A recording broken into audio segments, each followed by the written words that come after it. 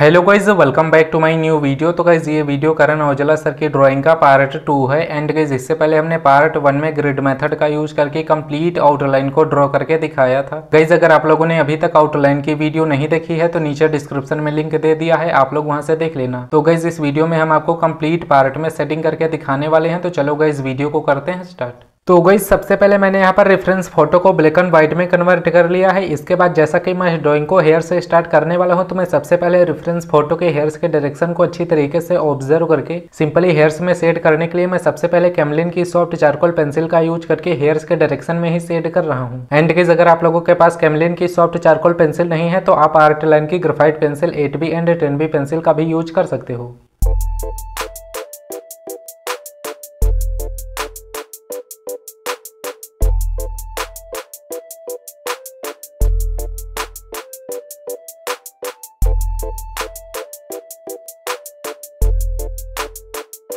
Charcoal pencil से complete hair में set कर लेने के बाद अब मैं सिंपली मेकअप ब्रश का यूज़ करके हेयर्स के डायरेक्शन में ही हल्के हाथों से ब्लेंड कर रहा हूँ।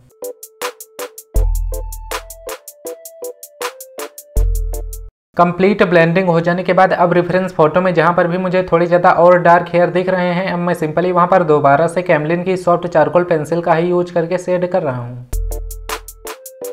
एंड किस दोबारा से भी कैमलिन की सॉफ्ट चारकोल पेंसिल से कंप्लीट सेट कर लेने के बाद इसे भी मैं पहले की तरह ही मेकअप ब्रश का यूज़ करके ब्लेंड कर रहा हूँ। कंप्लीट ब्लेंडिंग हो जाने के बाद अब मैं सिंपली रेफरेंस फ़ोटो में हाईलाइट हेयर को अच्छी तरीके से ऑब्ज़र्व करके simply Tombo mono zero eraser का यूज़ करके हाईलाइट कर ले रहा हूँ। एंड किस इसके बाद अब मैं फेस में सेट करने के लिए बिल्कुल वैसे ही सबसे पहले रेफरेंस फ़ोटो में डार्क एरियाज़ को अच्छी तरीके से ऑब्ज़र्व करके सिंपली कैमलिन की सॉफ्ट चारकोल पेंसिल का यूज़ करके सेट कर रहा हूँ। जैसे कि आई में जो भी डार्क एरियाज़ है, मैं सबसे पहले वहाँ पर कैमलिन की सॉफ्ट चारकोल पेंसिल का यूज़ करके सेट कर रहा हूँ। एंड किस बाकी सभी एरियाज़ में आप सिंपली मैं मैकेनिकल पेंसिल का यूज़ करके सेट कर रहा हूँ।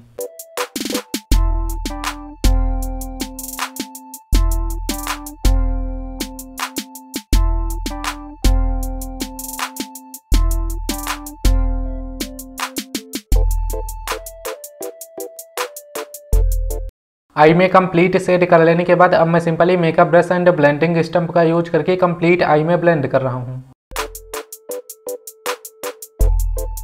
एंड गाइज़ इसके बाद अब मैं सिंपली रेफरेंस फ़ोटो में लाइट एंड डार्क एरियाज़ को अच्छी तरीके से ऑब्ज़र्व करके सिंपली कंप्लीट फेस में सेट करने के लिए मैं मैकेनिकल पेंसिल का यूज़ कर रहा हूँ।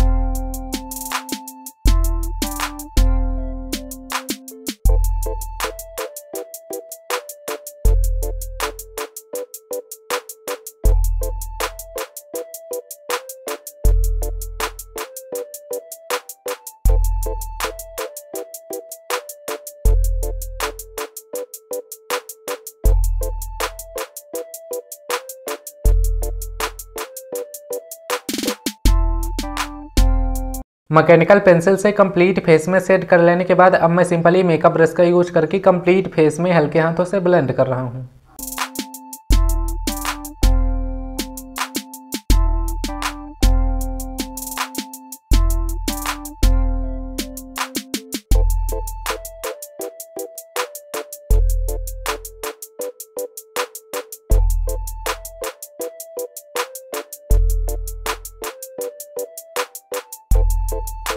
एंड के जिसके बाद अब मैं फेस में सेकेंड लेयर को अप्लाई करने के लिए सिंपली आर्ट लाइन की फोर बी ग्रेड की पेंसिल का यूज़ करके जहाँ पर भी थोड़ी ज़्यादा डार्क एरियाज़ हैं, मैं सिंपली वहाँ पर सेट कर रहा हूँ।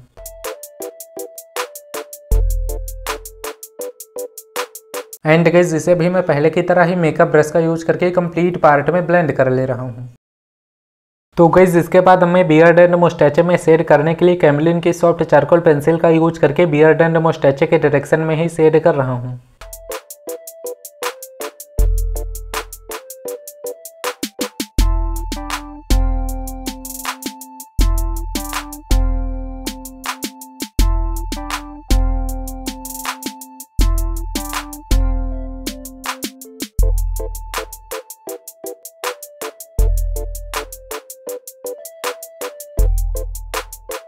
बियर एंड मोस्टैचे में कंप्लीट सेट कर लेने के बाद अब मैं सिंपली मेकअप ब्रश का यूज़ करके इसे भी मैं कंप्लीट ब्लेंड कर रहा हूँ।